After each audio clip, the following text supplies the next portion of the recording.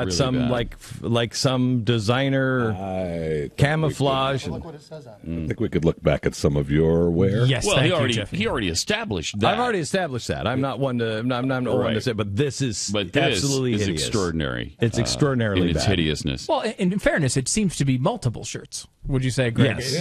It's kind of sort of sewed together. It, it, it, it shows a, it shows a, a, an ability to, to, to get along. You know.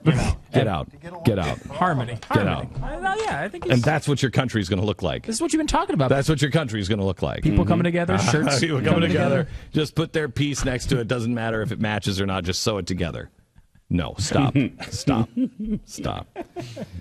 Uh, all right. Um, okay. Do you want the Do you want the good news? Yes. Where's the good news? You've been holding it off. I Here we think I appreciate your attitude. We've been asking for good news. I don't think you deserve it. Military veteran who lost both of his legs in Vietnam says several employees at Lowe's hardware store came to his rescue earlier this month when his old wheelchair broke down. Michael Susanna, he wo- uh, he uh, wrote in the Staten Island Advocate that on July 7th his wheelchair fell apart while shopping.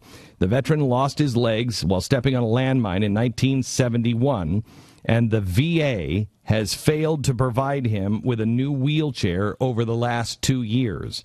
For the past two years, he said, I have been waiting to receive a new wheelchair from the VA. In addition, I've been told I'm not entitled to a spare wheelchair. Welcome to government health care. Compassionate, isn't it? Um, he said that he was in his uh, wheelchair at Mariner's uh, Harbor store for Lowe's, and he said, My uh, chair fell apart. They placed me in another chair while they went to work. They took my wheelchair apart and replaced all the broken parts and told me, We're going to make this chair like new. 45 minutes later, well, it took him 45 minutes. I mean, jeez. Oh, come on. 45 minutes later, um, he said the wheelchair was like new. I kept thanking, and all they kept saying was, "It is our honor, sir." I want to thank. Um, I want to thank them for renewing my faith that there are some people who still believe in stepping up to the plate. Is that not incredible? It's great. Great. I, great if I had to buy nails or something today or spackle, I'd be buying it at Lowe's. You probably buy a lot of spackle, huh? You're such a do-it-yourselfer. I've, I'm in Lowe's all the time. I think they call you Mr. Spackle. Mr. don't? Spackle, that's me. Yeah, down at like, I hardware walk store. in like Glenn. It's Mr. like Spackle! Norway. Yeah, Yeah. it's, it's crazy. Congratulations, uh, Lowe's Hardware.